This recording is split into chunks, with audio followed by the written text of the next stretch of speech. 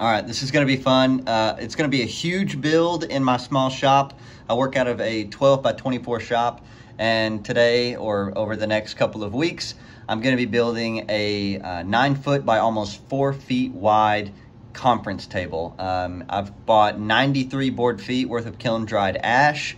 Um, and the one big problem that I have with this build is that my jointer, Ridgid jointer, is only a six inch jointer. So I'm using my thickness planer as the jointer, which means I have to make a flattening sled. I'm gonna do that with a sheet of MDF. Um, all of these pieces are greater than eight feet in length. So that means I'm gonna have to make an extra long sled. I've got an idea in mind. We'll see if it actually uh, pans out. I'll keep you up to date. I think this will help illustrate uh, what I've done so far. So I cut two eight foot long strips at 12 and a half inches wide. With one of them, I kept the full length. With the other one, I cut a two foot piece off of it so that I could add it to this eight foot piece, which of course eight plus two is 10. Uh, and then I cut these thinner strips um, that will run the full length of it to hold these two together at their seam so that they will stay one continuous 10 foot long, really flat piece so that I can run it through the, um, the thickness planer. All right, so I got the flattening sled done. I've got it standing up on its edge right now. Uh, this is where the lumber will sit. I added a little cleat to the back end of it so that the lumber doesn't slide off. Um, but there's the, uh, there's the, I guess, top of it where the lumber will set, and this is the bottom. As you can see, the seam right here is being uh, held together by these long stretchers that are bridging the gap. Uh, so hopefully that'll keep the whole thing nice and solid, uh, and we can uh, mill up this lumber. Time to put the lumber on it, start shimming up the void spots, and get it ready to push through the thickness planer.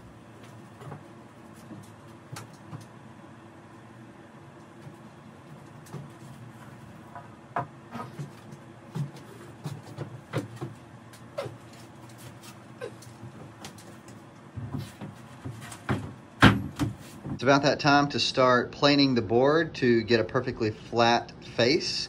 Uh, so now I have it on the, uh, on the flattening sled that I've made and I've made sure that these are sitting as level as humanly possible. Now the mission is to go through and shim all of the void um, all of the little void areas. You can see I've put a few shims there. This is so that while it's running through the thickness planer, while the rollers of the thickness planer are pushing the board down, the board doesn't wobble like this. So these shims will prevent that.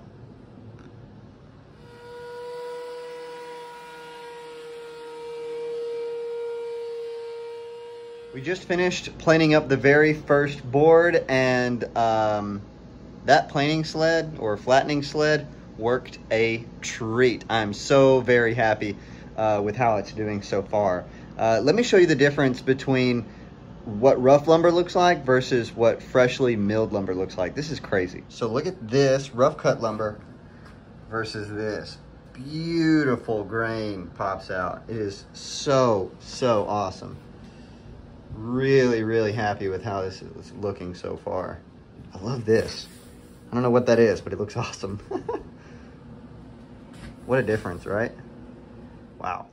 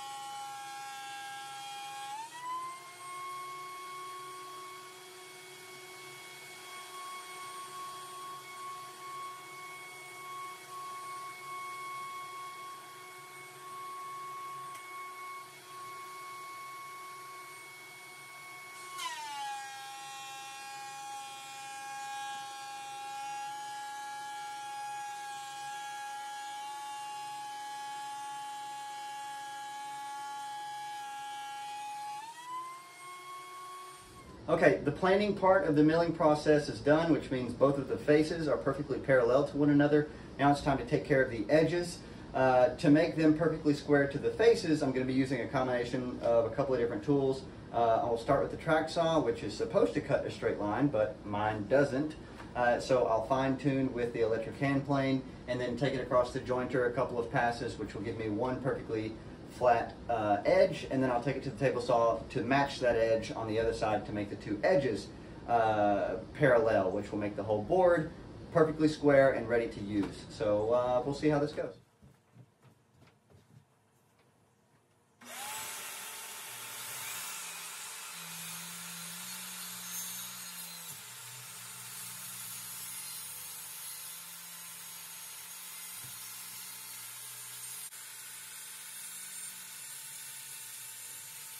Okay, so a bit of an update. Uh, the track saw did okay. At least it got it flat enough so that I could run it across the joiner um, without some without too much of an issue.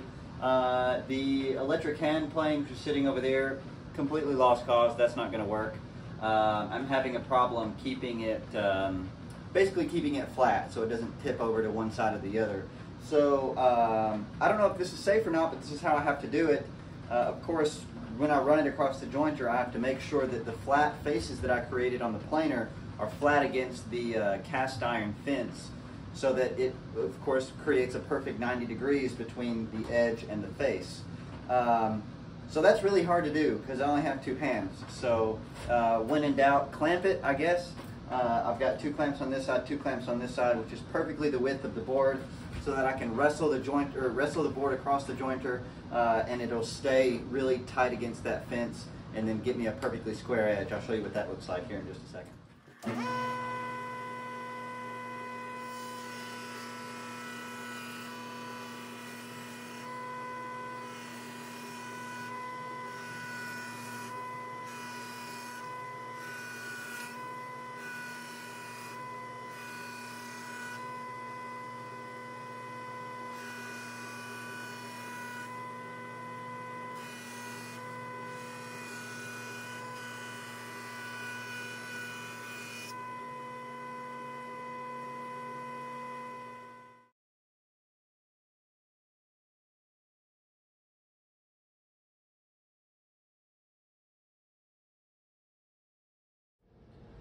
So today's mission is to match the um, square edge to the other side of the board, which requires the table saw, which is way back there in the corner under everything, basically. So uh, I've got to rearrange this place.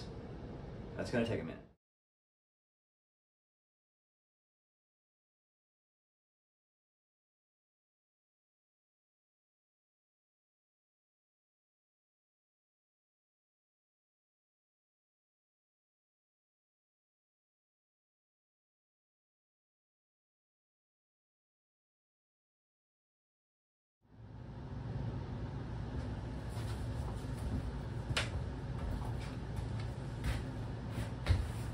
Now that we're uh, now that we're all set up, I guess here comes the tough part: is uh, getting this thing across the table saw safely. Um, so the edge that we ran across the joiner, the perfectly square edge, is over here. That will be referenced against the fence, uh, and that's what's going to help us match that on this other side to get rid of this rough stuff, so that the board is perfectly square and ready to use. Um, the table saw, of course, one of the most dangerous uh, tools in the shop, so got to be careful especially considering my table saw isn't the best. Um, I guess we'll see how this goes.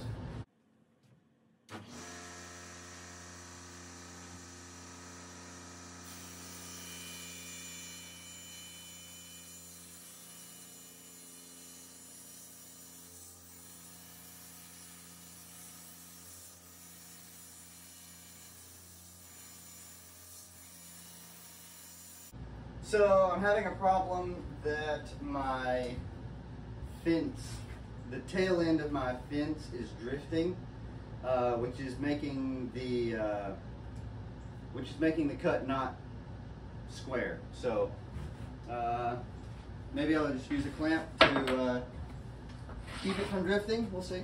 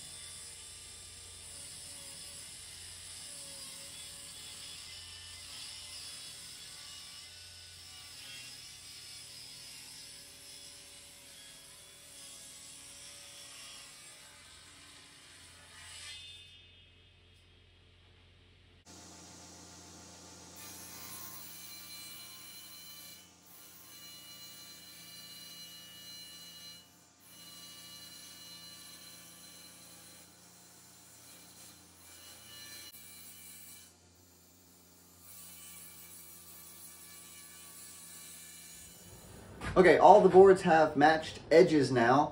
However, their thicknesses are different still. So I'm gonna do uh, one last round through the thickness planer to get them all in one uniform thickness. Uh, and then we'll put them out on the table and figure out which boards look good, you know, next to each other, uh, sort of have matching grain orientations, uh, and then we'll number them. And we'll go from there. Let's do this.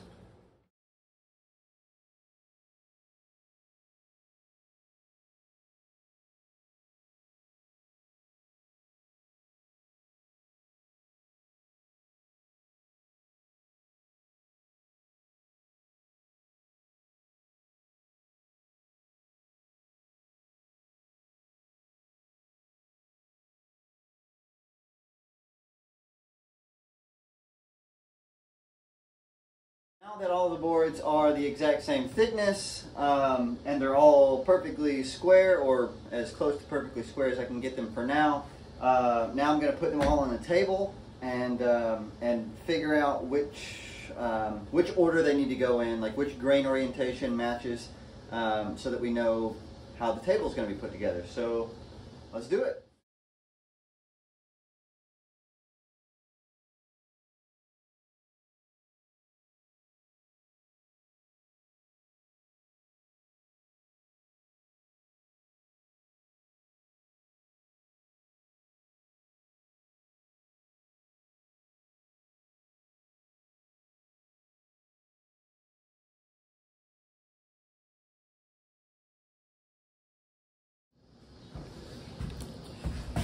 All right, it's uh, pretty much time for glue up. And since I don't have uh, enough clamps to glue up the entire table all at once, uh, I'm gonna have to go get more clamps and we'll just glue it up in pieces. This is pieces one and two. Uh, and to, uh, to help me with the glue up process, I'm gonna use these things. They're called biscuits. Uh, they're not for strength at all. It's literally just for alignment so that the, the boards don't have this sort of effect going on. The biscuits from inside keep the, um, keep the top of the table really, really flat so I don't really have to worry about, um, you know, making sure that the boards aren't, uh, aren't sort of doing like a fishtail kind of thing. So biscuits, let's cut them.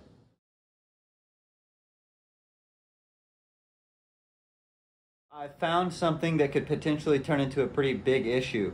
Um, this right here is a crack in the wood. It only goes up probably 12 inches or so.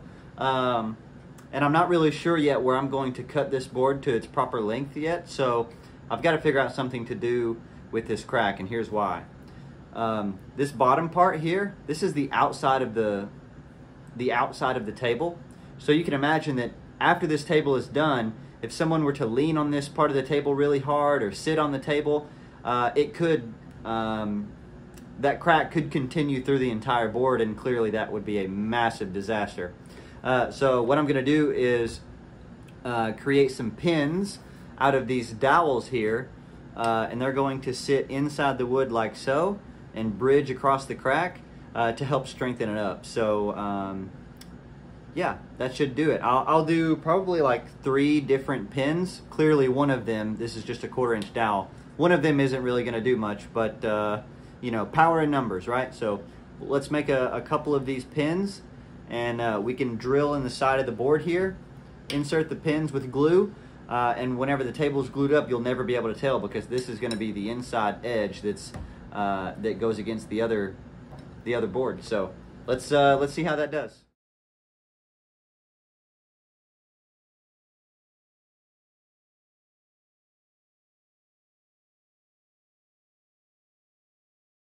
Chiming in here really quick. Um, if I've not already mentioned it, I'm going to have to glue this up in stages. So this is the first stage. Uh, boards one and boards two are now together. I literally just put the clamps on. Everything is set. Clean the glue squeeze out up.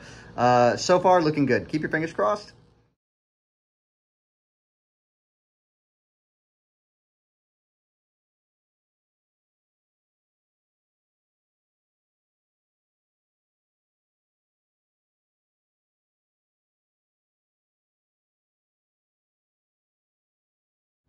As you can see, this table is absolutely massive. Uh, it's not all glued together, it's not one piece. So these three boards are glued together and then these two boards are glued together. Uh, I just have them sort of dry assembled with these clamps right now. Uh, because tomorrow I'm taking them to a big uh, production shop in North Knoxville uh, to get them both sent through a uh, wide belt sander, which is basically like my thickness planer here, uh, except way bigger, like more than double the size, probably closer to quadruple the size of that thing. Uh, but it's going to put a really nice. Um, uh, a really nice finish. Last you heard, I was supposed to be taking the table to a big industrial shop to get it flattened one final time. Uh, but I guess in the time between whenever I got it glued up to the time I was going to take it to the um, to that industrial shop, uh, it developed a twist in it, and um, that's really expensive to have someone else fix on their big industrial machines. I'm just going to build myself a tool. It's called a router sled um, that will that will help me solve that problem on my own so that if I do run into this situation again, I have the tool or tools to, uh, to fix it myself.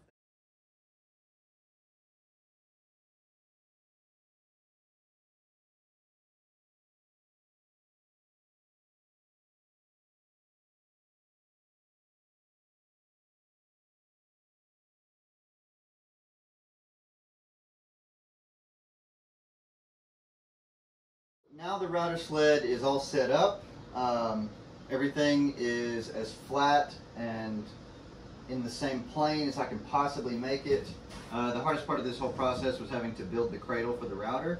Um, but you can kind of see how this will work.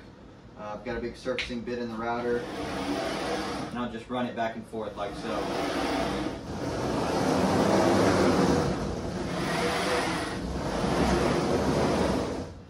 So uh, this is going to be a little bit nerve wracking, but because um, I've never done this before. Um, but let's try it out. We'll see how it goes.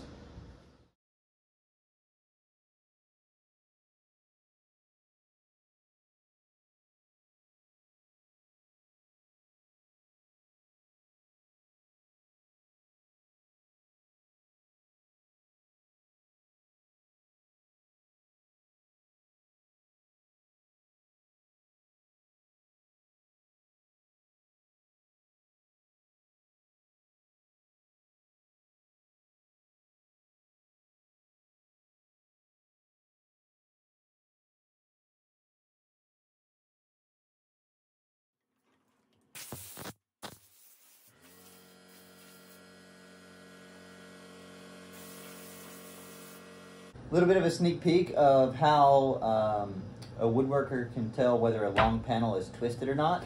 Um, sometimes, you know, the tools that we use are really highly sophisticated and expensive, and sometimes they're just as cheap as just a regular piece of wood. So um, I've got a piece of wood up here that is perfectly flat, uh, and I also have another piece of wood down here that's a different color.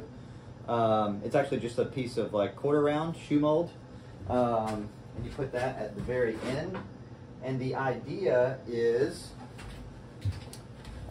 whenever you sight down the end of the board, um, and you just lower, lower, lower, and what you want to happen is for the entire back uh, stick, that white stick, to disappear uh, all at the same time. So check this out. And now it's gone, right? So that tells us that this board, or at least this face of the board, is perfectly flat. I'm moving the camera up and down so you can kind of see it bob up and down. Pretty neat, huh?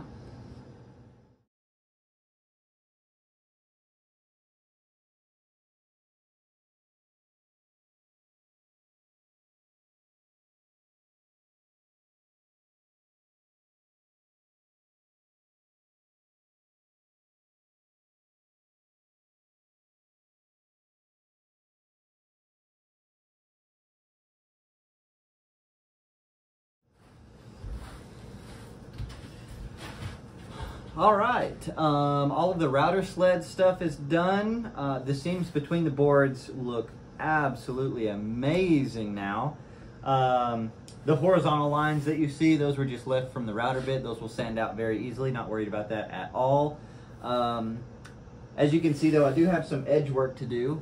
The you know, the, the edge between these two panels down there, it fits kind of tightly. Uh, but up here, it's uh, quite ugly. So got some work to do there. Um, what else? Sanding after that. The base is on its way. A big beefy steel base to hold this heavy tabletop uh, is on its way from Poland. Um, oh, and there's a knot right here that I've got to fill with epoxy. I've never worked with epoxy before, but I've got some. And so I'll fill that with epoxy. And uh, yeah, so the whole table is going to be super smooth. Next step, edge work.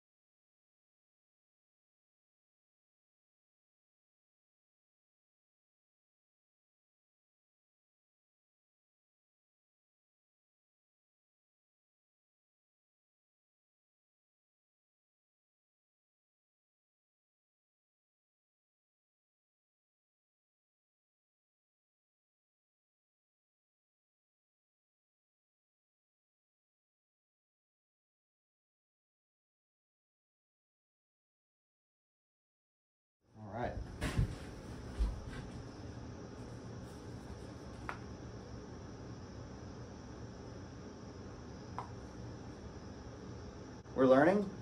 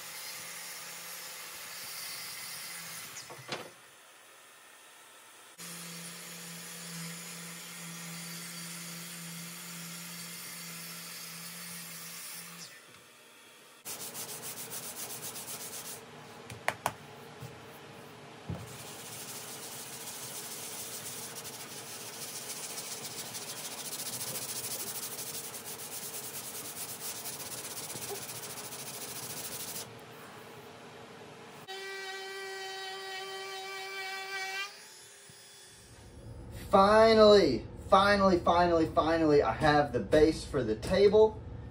Um, just got it today from Poland, so it's come a long way. And I'm trying to like open it as carefully as possible so that I can save the box for delivery and stuff.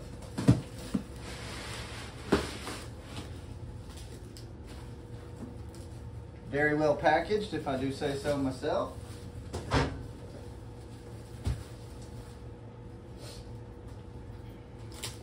I still need I still need to uh, take all of this wrapping off, put it all together, put the table on top of it, make sure all the mounting stuff works fine, but uh, yeah, so far it looks really, really good. Let's uh, let's move some stuff around and see if we can unbox this thing.